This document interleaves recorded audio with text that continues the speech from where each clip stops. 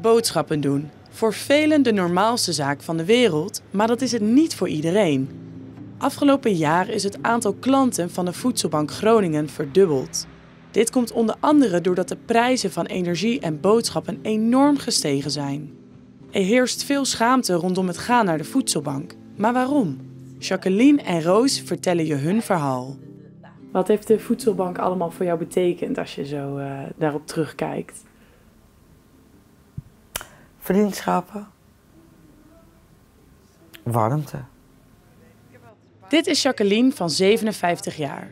Toen zij 7 jaar oud was, heeft zij een heftig auto-ongeluk gehad, waardoor zij op jonge leeftijd volledig werd afgekeurd. Daardoor heeft zij haar hele leven een laag inkomen gehad. In 2016 kwam zij door omstandigheden in de schulden terecht. Daarom was Jacqueline tot 2019 afhankelijk van de voedselbank. In het begin was het heel erg. Oh, om hierheen te gaan?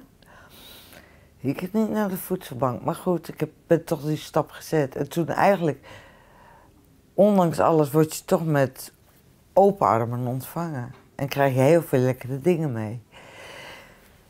En dus, ja, nou ja, dan wordt het na de derde keer, dan is het al een gewoonte eigenlijk als je wekelijks komt. Derde, vierde keer. En dan, ach ja. En waarom vond je dat zo spannend, die eerste keer naar de voedselbank gaan? Waarom? Ja, waarom? Je wilt niet uh,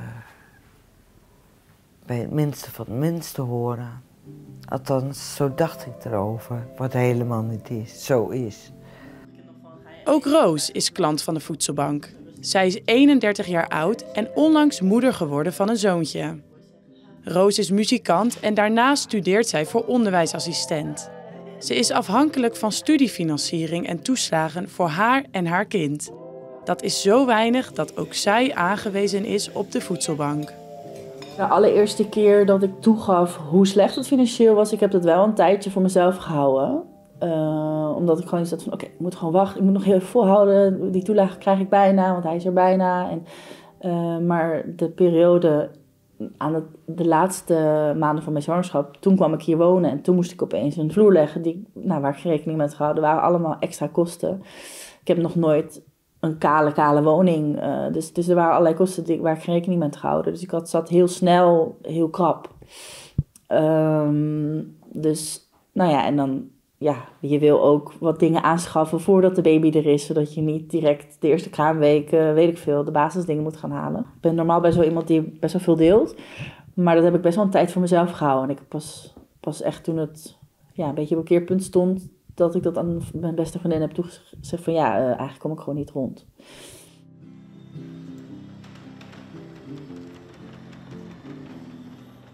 Kijk, op den duur, ik, ik durfde nergens heen te gaan. Ik kon, de Wij, die zei tegen mij, die heeft me dan geholpen. De Wij en de Chronische Kredietbank en de Wij. En toen bij de Wij zeiden ze van, nou, ga naar de voedselbank.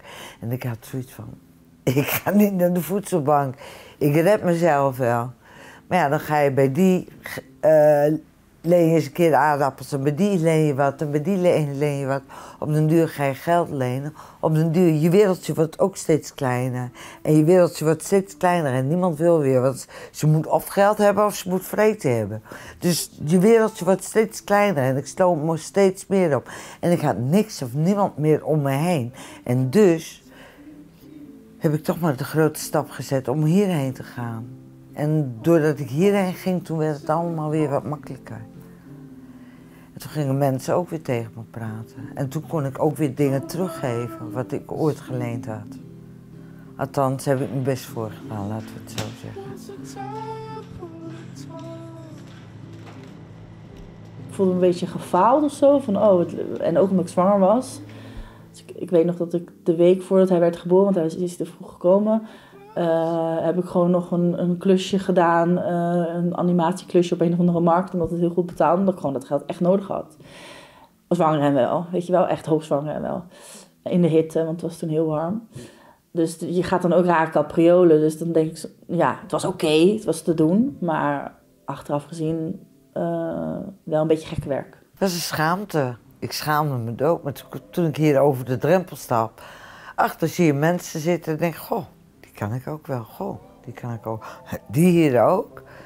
En eigenlijk word je hier met twee open armen ontvangen en krijg je heel veel lekkere dingen mee. Nou, en na de eerste keer is het één, de tweede keer is het ook nog griezelig. Maar na de derde, vierde keer, dan denk je, oh lekker, weer boodschappen in huis. Het is net een gewone winkel hoor hier.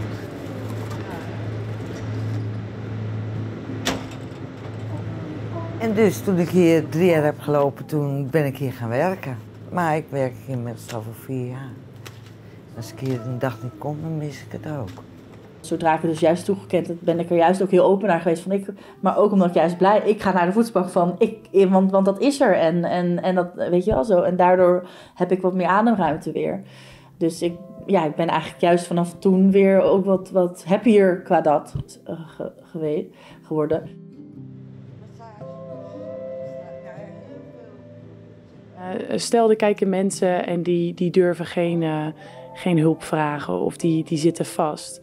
Wat zou, je dan, wat zou je dan willen zeggen tegen dat soort mensen? Vraag hulp, zoek hulp. Er, er zijn genoeg mensen die je kunnen helpen. Er is een wij. Je kunt hier, als je uh, financieel moeilijk hebt en geen eten hebt, loop je naar de voedselbank. Klop aan en zeg van ik wil me aanmelden. En er zit hier een aanmeldteam en je kunt je zo aanmelden. Ja. Maar hulp is er, zeker, ook voor jou.